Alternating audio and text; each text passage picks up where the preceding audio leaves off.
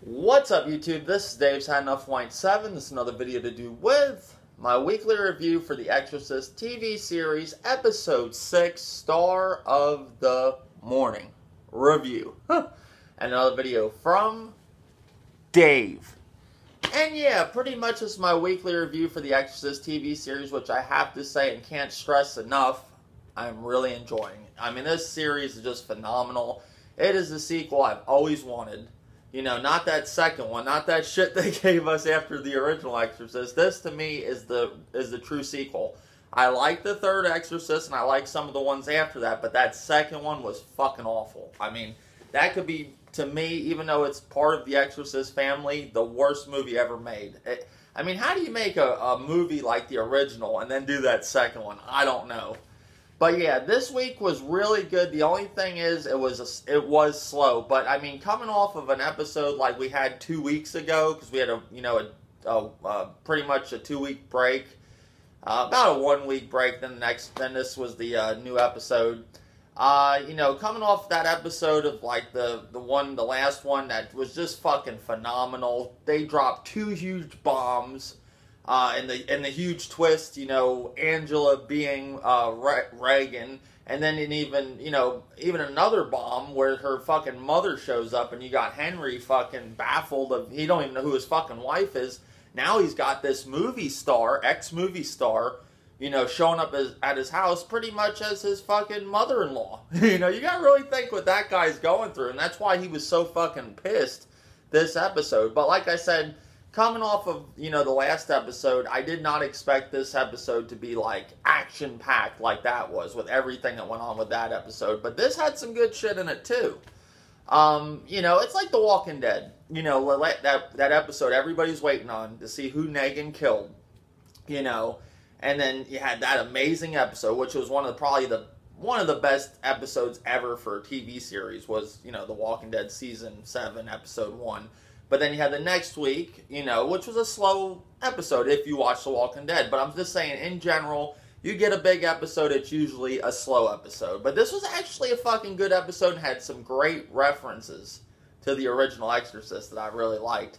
And I even got like an end of days kind of feel if you ever saw that movie with Arnold Schwarzenegger, which I'll go into in just a little bit. But pretty much, I'm on a time limit. Like I said, I have to do videos from my tablet. I have 15 minutes to do them, so I'm going to knock it out as fast as I can, recapping it, give you my thoughts and opinion, and call to review. All right, so basically, it starts off with Wake Up San Diego, the thing from last week, where you know it was like a TV uh, series that they did about like uh, Regan when she was younger, and her, you know, with the mother. Basically, we learned wrote a book about her called The Devil and and the and my daughter and they're basically talking about her book and her experiences. And the talk show host basically asks Regan uh, what happened in Georgetown. She don't really remember. And he said, you know, this shit's going to pretty much, fo-. in other words, he said, this shit's going to follow you for the rest of your life. What are you going to do? And we learned what she did. She changed her name, started a new life. But the devil still found her. All right, so then it goes to a scene with Chris MacNeil and Kat basically talking, and you got uh, Angela and Henry arguing in the background. You got Angela that don't want fucking her mother there. I don't blame her after you know her basically benefiting off of her daughter. You know, which I have to say here, you know, I couldn't see any mother, you know, after a, a horrific experience like hap- what happened in the original Exorcist, if any parent went through that and and and their kid made it out alive and they made and she's lucky she made it out alive. I couldn't even see if they were poor. She lost her job as a you know a movie actress like she did uh, because of all the shit that went down.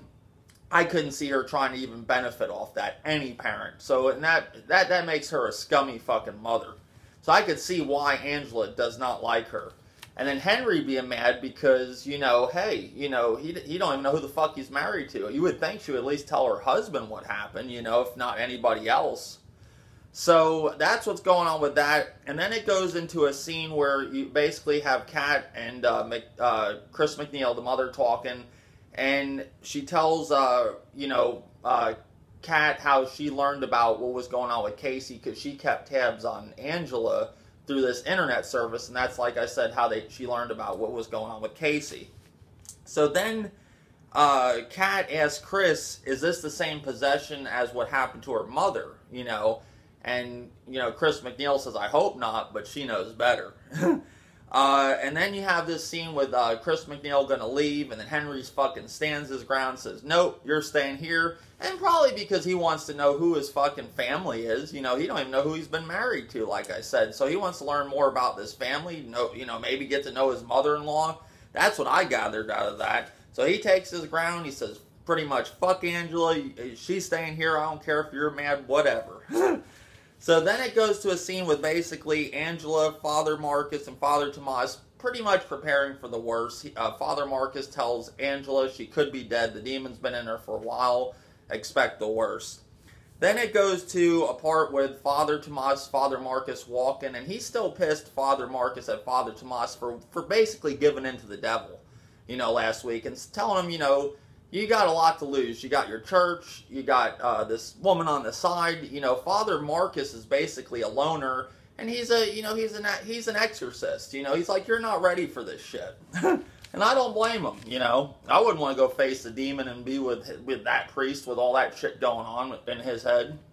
So, then you have this whole press conference where the shit hits the fucking fan. You have the whole, you know, uh, Rance family up there with uh, the police basically offering a $100,000 reward to find Casey. Then you have all the victims, uh, you know, relatives and friends and family from the neighborhood that, you know, all the nine victims got fucking brutally murdered. They show up and they're like, whoa, they're like, whoa, they're like, uh, why are they getting help and we're not? Who are we? You know, are we third world citizens or something? Pretty much and they start fucking flipping out. And it's true. It's like rich people always get all the help, the poor people fucking suffer, you know. And and I don't blame them. And then one of the ladies uh, has the cameras focus on her, and she starts reading off the names of the nine victims, and like, hey, show us some recognition. I don't blame them at all. So then it goes from that to basically a scene with the cops asking Henry and uh, Angela about you know, what what all went down at her house with this exorcism, you know, and was Father Marcus the only uh, priest there? They want to know who was involved. Then they showed her some pictures of the and Henry, um, some pictures of the ambulance that got fucking carried. you know, if you watch that scene with the uh, ambulance and it fucking crush, that was really cool. But it reminded me of Carrie. This show has a lot of like, you know, references to other, like not references, but it reminds me of other things like Carrie, End of Days, like I said. You know, a lot of other movies with The Exorcist. I, I like that. I think it's cool. I'm a fan of Carrie. I'm a fan of End of Days. I'm a fan of all all the movies. Damien, uh, The Omen, all that shit. Uh, but yeah, basically, as her like, you know, uh, you know, since she uh, fucking ripped that guy's jaw apart on the subway. Could she be? Could she have done this? you know, and they're like, just like, kind of, you know, didn't say shit. Then you have a part with Chris MacNeil talking to Kat about. Now this is the part really like talking to Kat about losing her career, what she went through, and what she had to do to survive after you know basically you know hitting rock bottom with the whole thing that happened. But then I like this part. She tells the story of like the whole thing with Captain Howdy, and this was another great reference to the original Exorcist that I liked. And she pretty much says, you know, I was doing five scenes a day, and you know, my daughter was home playing with the Ouija board, talking to the fucking devil. you know, I did, I, did, I, was, uh, you know, I was a millionaire, but I didn't have nobody to watch her. I couldn't hire nobody. you know, that's the part I was like, okay, yeah. I just let my daughter play with the Ouija board. I, I was busy making movies. Um, then you got this part where basically you have that, you know, the lady, uh, uh, Maria Walters basically talking to Father Tomas and basically uh, about the that she's happy what he did with the money. And then Jessica shows up, you know, and he goes and talks to Jessica.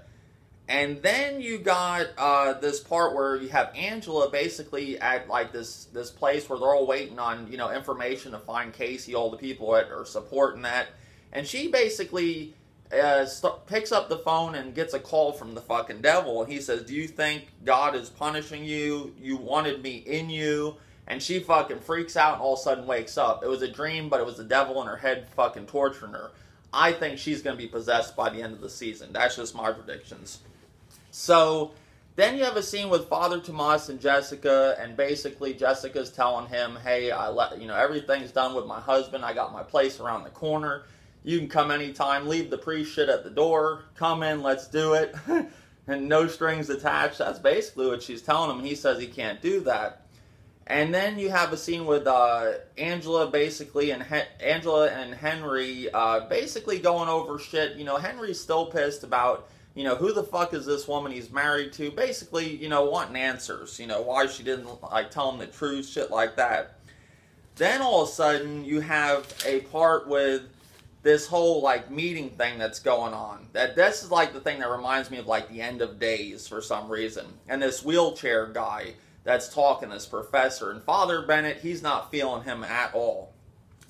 So then you have a part with basically Angela, uh, pretty much, uh, you know, you know, getting a drink, you know, talking to. I think she's talking to Chris uh, over here, and Chris talked to some reporter, and she goes in the room, kicks the reporter out of the room, gets the feeling that she's doing the same shit she did back in the day, trying to benefit off of this. Then all of a sudden you get a call from the coroner's office and they may have found Casey.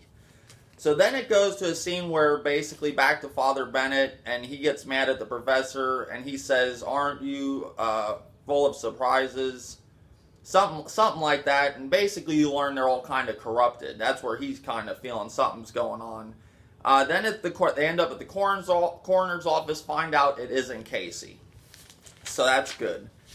Then this is where it gets starts getting really good. This is a good scene of the show. You starts you see his part with Father Marcus and the rats coming out of this like area from underground, like you know in the park or something. And they and he goes under there. There's all these fucking bums in there. You know, fucking have dead animals. Uh, you know, cats are dead. Somebody's holding a dead bird. They're all acting fucking you know really weird. You're hearing the demon like from Casey a little bit then all of a sudden the bums attack him, and then Casey comes out of this pile of fucking like trash and fucking blankets, and she starts doing the exorcist crawl on the wall, on the side of the wall, and then gets on the ground with her head backwards and growls. Fucking awesome. Great reference to the original Exorcist. I was wondering where we were going to see that. If you ever saw the original Exorcist and the uncut version, or if it was, if you got, if you were lucky enough to go to the theater, I wasn't. I wasn't old enough then uh, to see it in the theater. That was what they showed The Exorcist, Spider Crawl. That's referenced, and ton of tons of movies have ripped that off, but that's where it came from. Great, great scene. Then you have Maria basically and her people, and all of them are basically. And one thing I forgot to say, they took all the ashes during that press conference with all the people flipping out about the nine victims. During that scene, they're showing what they did with the organs of all the people that they killed. They basically cremated them for this part, and they basically uh, pretty much end up like you know blowing the ashes into the air, and basically they end up going into like the the lady uh, Maria Walters wants the ashes to go into her, but they end up going into the police superintendent taking his body. So I'm assuming that's the real. I'm assuming that's going to be the real. Uh, the, that's going to be the demon that took uh, uh, Angela Regan, and the other demon that's in Casey's just another demon helping him or maybe that's a devil and then another demon. Um, so basically, that went on, and then you have the whole thing with Casey basically eating a duck, and I think it's in like, you know, um, somewhere in the park and by a pond or something. And basically, she's eating the duck. Father Marcus finds her, and then basically gives her like a like it's like he's baptized, baptizing her or something in the water and then this big like little wave goes by through the water and she comes out says something to him and i thought for a second there she was like he like cured her. But then they showed previews the next week and it don't look like that. It looks like it's shit's gonna fucking even get even worse for her. So that's that's pretty much my review guys. I liked it. I got an end of days kind of feel if you ever saw that movie with arnold schwarzenegger with the whole thing with the uh you know the meeting with the you know just how they're all meeting up and like they're bringing the the the, the one somebody's coming. It, it just reminds me of end of days a lot. Um, but yeah this was a great episode. Not as good as last week's of course with all the shit that happened last week but this week was good. Last week i gave it a 10 this week i'm giving it an 8.5 i really did enjoy the episode. It was pretty good. Slow but good. Stuff we needed to know. You know stuff i was wondering about. I knew that lady maria uh, Maria Walters, I knew she was crooked. I said it in one of my reviews. I just couldn't put my finger on it, especially after that part where you saw her, where Father Tomas's little boy comes in the room and then he goes and sees her husband, and the husband's like sticking her tongue at her, and it's and you knew something was up. The kid ran out, he ran out, she looked all crazy. But that's my review, guys. Tell me what you think in the comment section. Ran out of time. More videos come. Later, YouTube.